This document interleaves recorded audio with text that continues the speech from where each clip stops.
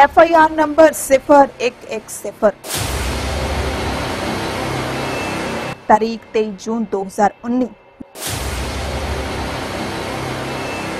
ਜ਼ਿਲ੍ਹਾ ਅੰਮ੍ਰਿਤਸਰ, ਥਾਣਾ ਮਜੀਠਾ। ਧਾਰਾ 307 34 120 ਬੀ। ਅਪਰਾਧੀਆਂ ਦੇ ਨਾਮ ਸੁਖਪ੍ਰੀਤ ਸਿੰਘ ਮੁਖਵਿੰਦਰ ਸਿੰਘ, ਪੱਪਲਪ੍ਰੀਤ ਸਿੰਘ।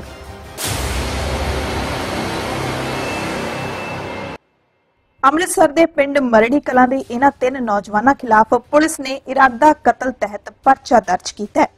ਇਹਨਾਂ ਤਿੰਨਾਂ ਖਿਲਾਫ ਪਿੰਡ ਦੇ ਇੱਕ ਵਿਅਕਤੀ ਚੰਦੀਪ ਸਿੰਘ ਨੇ ਜਾਨੋਂ ਮਾਰਨ ਦੀ ਸ਼ਿਕਾਇਤ ਕੀਤੀ, ਜਿਸ ਤੇ ਕਾਰਵਾਈ ਕਰਦਿਆਂ ਪੁਲਿਸ ਨੇ ਤਿੰਨੇ ਨੌਜਵਾਨਾਂ ਖਿਲਾਫ ਇਰਾਦਾ ਕਤਲ ਦਾ ਕੇਸ ਦਰਜ ਕਰਕੇ ਭਾਲ ਸ਼ੁਰੂ ਕਰ ਦਿੱਤੀ ਹੈ।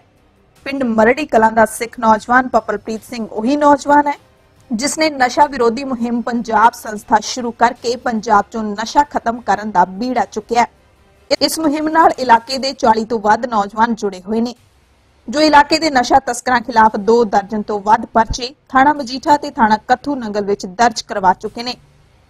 ਪਪਲਪ੍ਰੀਤ ਸਿੰਘ ਮੁਤਾਬਕ ਪੰਜਾਬ ਪੁਲਿਸ ਨੇ ਉਹਨਾਂ ਦੀ ਨਸ਼ਾ ਰੋਕੂ ਮੁਹਿੰਮ ਦਬਾਉਣ ਦੀ ਖਾਤਰ ਤਾਨਾਸ਼ਾਹੀ ਕਾਰਵਾਈ ਕੀਤੀ ਹੈ। ਸ਼ਿਕਾਇਤਕਰਤਾ ਨੌਜਵਾਨ ਖੁਦ ਵੀ ਨਸ਼ੇ ਦਾ ਆਦੀ ਹੈ ਤੇ ਪਿੰਡ ਵਿੱਚ ਚਿੱਟਾ ਸਪਲਾਈ ਕਰਨ ਵਾਲੇ ਤਸਕਰਾਂ ਨੂੰ ਪੂਰੀ ਹੱਲਾਸ਼ੇਰੀ ਵੀ ਦੇ ਰਿਹਾ ਹੈ।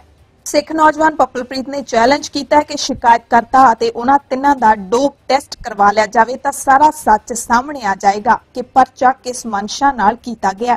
ਇਸ ਬਾਰੇ ਥਾਣਾ ਮਜੀਠਾ ਦੇ ਐਸਐਚਓ ਹਰਕੀਰਤ ਸਿੰਘ ਨੇ ਦੱਸਿਆ ਕਿ ਇਹ ਪਰਚਾ ਕੁੱਟਮਾਰ ਦੀ ਸ਼ਿਕਾਇਤ ਤੇ ਕੀਤਾ ਗਿਆ। ਦੋਵਾਂ ਧਿਰਾਂ ਦੀ ਕੋਈ ਆਪਸੀ ਰੰਜਿਸ਼ ਹੈ, ਪਰ ਨਸ਼ਾ ਮੁਹਿੰਮ ਨਾਲ ਇਸ ਦਾ ਕੋਈ ਸੰਬੰਧ ਨਹੀਂ ਹੈ। ਜਾਂਚ ਤੋਂ ਬਾਅਦ ਹੀ ਸੱਚ ਸਾਹਮਣੇ ਆ ਸਕੇਗਾ। ਨਸ਼ੇ ਦੇ ਸੌਦਾਗਰਾਂ ਨੂੰ ਪੰਜਾਬ ਪੁਲਿਸ ਤੇ ਸਰਕਾਰਾਂ ਆਪਣੀ ਸਿਆਸੀ ਤੇ ਪ੍ਰਸ਼ਾਸਨਿਕ ਤਾਕਤ ਥੱਲੇ ਪਾਲਦੀਆਂ ਨੇ, ਇਸ ਦੀ ਚਰਚਾ ਅਕਸਰ ਹੁੰਦੀ ਰਹਿੰਦੀ ਹੈ।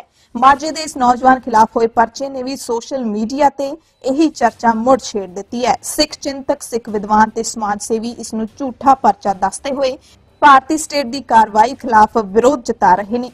ਪਪਲਪ੍ਰੀਤ ਸਿੰਘ ਮੁਤਾਬਕ ਨਸ਼ਾ ਵਿਰੋਧੀ ਮੁਹਿੰਮ ਚਲਾਉਣ ਕਾਰਨ ਉਹਨਾਂ ਨੂੰ ਧਮਕੀਆਂ ਵੀ ਮਿਲਦੀਆਂ ਰਹਿੰਦੀਆਂ ਨੇ, ਪਰ ਉਹ ਆਪਣੀ ਇਸ ਮੁਹਿੰਮ ਤਹਿਤ ਤਨਦੇਹੀ ਨਾਲ ਕੰਮ ਕਰਦੇ ਆ ਰਹੇ ਨੇ ਤੇ ਇਸੇ ਤਰ੍ਹਾਂ ਕਰਦੇ ਰਹਿਣਗੇ।